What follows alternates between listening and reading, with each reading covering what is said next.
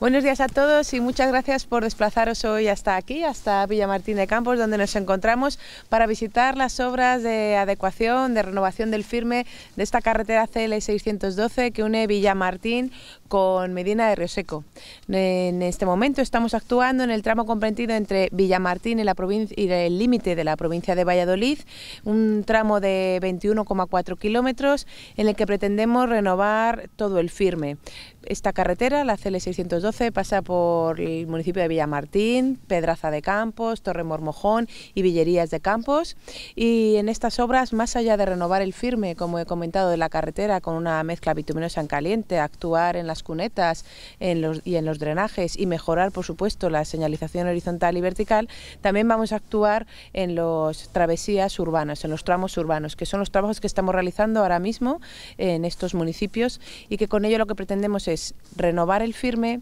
actuar también eh, colocando reductores de velocidad y eh, colocando aceras en los laterales de este firme para eh, con, el objetivo último, por supuesto, de, mejorar la seguridad de los ciudadanos que circulan por estas travesías.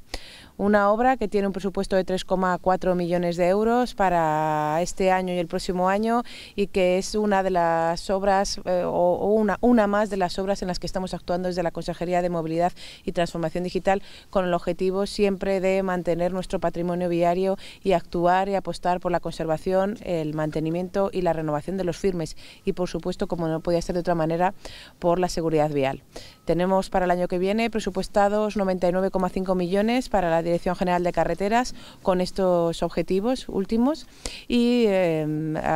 con esta y otras muchas actuaciones en la provincia de Palencia. Una provincia de Palencia que cuenta con 1.500 kilómetros de carreteras autonómicas de los 11.500 que tenemos en Castilla y León. Hay que destacar que Castilla y León tiene eh, el 16% de los kilómetros eh, nacionales de carácter autonómico que pasan, que tenemos en nuestro territorio.